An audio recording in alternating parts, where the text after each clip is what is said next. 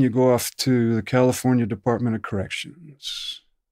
Uh, they they do a the first thing they do before sentencing is there was a 90 day diagnostic at Vacaville, which was uh, Vacaville. It was called medical facility, but half of Vacaville was for the the nutters, as you'd call them.